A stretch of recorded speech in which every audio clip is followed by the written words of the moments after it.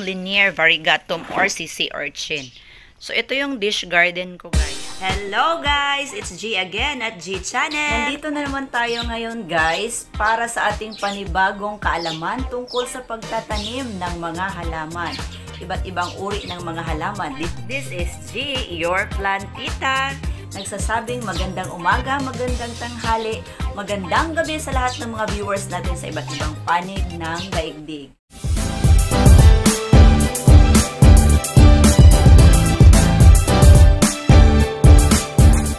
Meron ako ipapakilala sa iyo guys. Meron ako ipapakita sa inyo.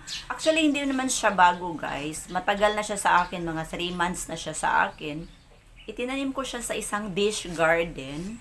Papakita ko lang sa inyo na mix yung mga halaman. So, ginawa ko siyang dish garden kasi gustong gusto ko siya. Maganda siya na halaman guys. Pero hindi siya common na tinatanim ng lahat. Papakilala ko sa inyo ang aking Sedum linear variegatum. Scientific name niya guys is Sedum linear variegatum.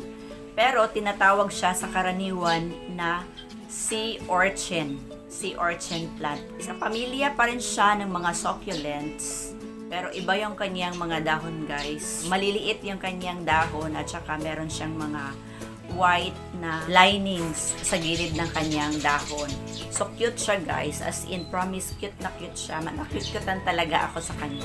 Nag-research talaga ako guys. Ito, na-research ko, sinulat ko talaga yung pangalan niya dahil hindi ko siya masyadong mabigkas. Kasi ang alam ko lang yung pangalan niya is sea urchin plant.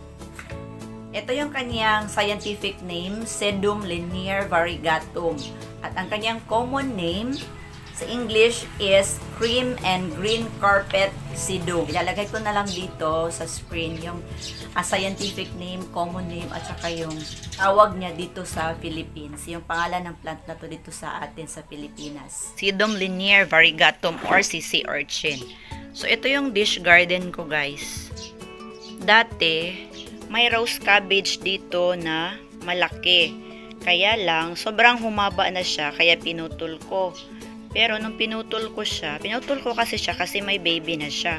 Pero nung pinutol ko guys, nagtampo siya at namatay. Ito, nabulok yung kanyang pinaka stem niya. Nabulok. Ito siya guys, o nabulok. So wala na siya. So ang natira, ito na lang si Mammillaria cactus at saka itong si candelabra. Yung natira dito sa dish garden. So ang gagawin natin ngayon guys, ire-repat natin siya at ilalagay natin siya sa isang hanging pot. Actually, si rose cabbage guys na nandito, nilipat ko siya sa ibang ibang pot. Ito si rose cap na nagmula dito sa dish garden. Tapos nilipat ko siya sa isang pot dahil uh, masyadong mahaba na siya tumaas. So, yung isa ko pang sea urchin guys, Nakahanging pot siya. Ito siya. Yan. Nakahanging pot siya. Tsaka medyo mahaba na rin siya. Ayan o. Oh.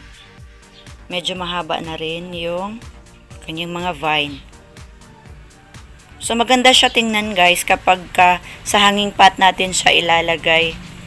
Kasi pwede natin siya i-transfer kahit sa ang place ng ating bahay. Pwede siyang pang indoor Pwede din siyang pang outdoor. Pero wag natin siyang diligan ng sobra-sobra dahil madali siyang mabulok.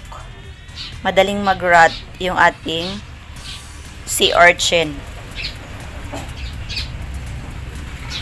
So kung titignan natin guys, gustong gusto niya nung naka full sun. Kasi kapag naka full sun kasi siya guys, yung kulay ng kanyang dahon is yun, oh, variegated siya, guys. Merong white na may pagka-silver yung kanyang dahon. Sa gitna, parang may glitters-glitters yung kanyang dahon sa gitna, guys. Hindi lang siya masyadong klaro dito sa camera. Pero sobrang ganda nitong si Sedum linear variegatum or si sea urchin. At saka, di siya pihikan sa soil. Hindi siya pihikan sa potting mix. Madali siyang dumami. Ayan, so sobrang dali niyang dumami. At saka, madali din siyang i-propagate. Kasi itong mga vine niya guys, kapag katumawid siya sa ibang pot, magkakaroon siya ng ugat. Halimbawa, ipapakita ko sa inyo yung halimbawa guys. Dati, dito nakalagay si Sedum, yung isa kong dish garden, si Sedum Linier Variegatum. Dito siya nakapwesto. Dito. So, ito yung naiwan niya, guys, oh. Nang tinanggal ko yung dish garden, ito yung naiwan. Yan. So, nabubuhay siya. Yung naiwan dito, nabuhay siya. May ugat na siya, guys. Hindi na siya pwedeng bunutin dahil, yun, oh, makikita natin, may ugat na siya. Ayan, so tumawid siya sa kabilang dish garden. So pabayaan na lang natin siya. Ito yung mga mamilaria ko dito guys. Oh, dish garden pero need ko na siya iripat. Naku, may, may snail guys. Oh. Ito yung mga insekto talaga na naninira talaga. Yan oh guys. Naninira talaga ng aking mga halaman dito sa aking dish garden. So kinakain niya yung mga bulaklak. Kinakain niya yung aking mga succulents. Oh, ito. Ito siya. So, ito naman yung aking mamilaria guys na may bulaklak siya at may bunga siya. Magkakaroon siya ng seeds. Yan oh. Yan. May bulaklak siya. Sobrang cute. So, need ko na eh need ko nang baguhin itong dish garden na ito dahil itong shooting star is tumawid na rin siya sa ibang pot. So, hindi na siya magandang tingnan at saka lumaki na, humaba na si, si Topsy Turvy. So, need ko na siya ripat. Ito pa guys, oh, yung baby na walang ugat. Ayun, oh, namumulaklak siya kahit wala siyang ugat. Natatanggal siya sa lupa pero namumulaklak pa rin siya. Ang cute. Ay, ang cute niya guys. Ilipat ko siya dito. Transfer ko na lang siya dito. Yan. Ngayon ko lang siya napansin. Wala siyang ugat pero namumulaklak siya. So, balik tayo dito kay si Urchin guys. Ngayon naman, ire-repat natin siya. So, ito yung ating si Urchin na nakapat. Ayan siya. oh. Sobrang ganda niya guys. Naka-white pot siya. Hanging pot. Gustong gusto ko siya nakapat kasi pwede ko siya ilipat-lipat kahit saang pwesto. May halo-halo siya ng mga vermicast, meron siyang coco peat. Wala yung pang ano ko ng ano ko, soil. So, ito ngayon guys, tatanggalin natin siya. Tatanggalin natin itong kanyang mga roots. Ay, naputol at itatanim natin dito.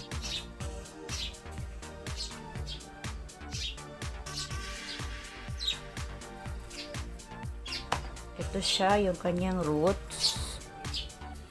So, mahaba na pala siya guys dahil yung kanyang vine is gumapang na talaga ng husto. Ito siya. Pwede natin siyang putulin guys dahil para maging even yung pagtanim natin dito sa kanyang pot.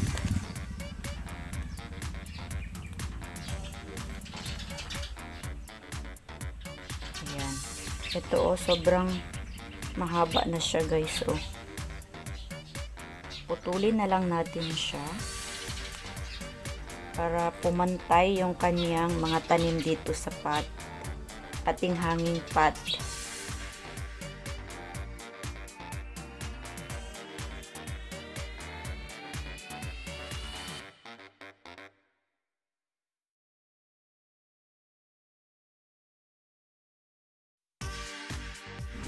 Kasi maganda talaga siya. Kahit sino na plant lover, magkakagusto sa kanya. Dahil nga, yun nga, may parang glitters, glitters dito sa kanyang dahon. Napakaganda niyang tingnan.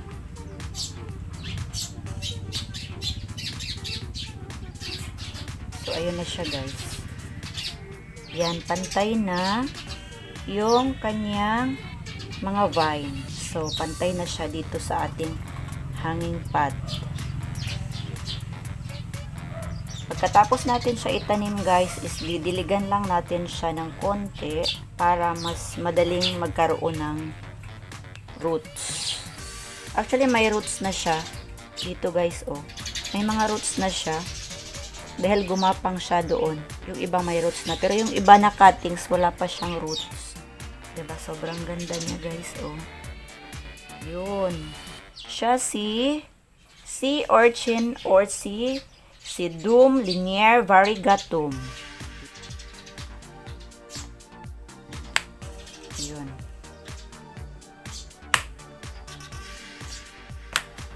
Ayan. So, ito na siya. Yun, ang ganda-ganda na niya. Tapos, itong iba, na mas mahaba pa, babalik na lang natin siya dito. Kasi dito ako kukuha ng mga iba pang, pag nagtanim ako ulit, dito ako kukuha. Siya guys, oh, kahit ganito lang siya kaliit, hindi siya mahirap buhayin. And ito siya guys, oh, sobrang cute niya, sobrang liit niya, pero mabubuhay pa rin siya kapag itinanim natin siya. So, ilalagay lang natin siya dito kasi magkakaroon din siya ng ugat. Yan. So, ayan na. Ito siya guys. Magkakaroon din siya ng ugat at kakapal pa rin ito guys. So, hayaan muna natin siya dito. Hindi ko muna siya ireripat ngayon. Itong si Candelabra. At saka ito din si Mamilaria. Hindi ko pa siya ireripat ngayon dahil hahanap pa tayo ng pot sa kanya. Ito munang si Sea Urchin. So, ito na si Sea Urchin guys na naripat natin. Ayan, ang ganda na niya. Ayan. So, dahil bagong pot siya guys, bago natin siyang niripat, bagong tanim lang siya, so hindi muna natin siya ibibilad sa sobrang sikat ng araw. Wag, wag munang i-full sun si si urchin kasi baka mamatay siya. So, ilalagay muna natin siya sa tabi. Ay, may ano pala guys, oh. May baby cactus pala na dumikit sa kanya doon sa baka baby to ni Mami Laria. Doon sa dish garden. Yan, oh. Sobrang liit. So, yun guys, wag natin siya i-full sun dahil madali siyang masunog kapag kabagong tanim. Pero kapag stable na siya guys, pwedeng pwede natin siya i-full sun dahil gustong gusto niya ng direct sunlight. Magkakaroon siya ng glitters-glitter sa kanyang dahon. Magiging shiny yung kanyang dahon at saka magiging silvery yung kanyang dahon kapag inilagay natin siya sa direct sunlight. Kapag naging stable na siya.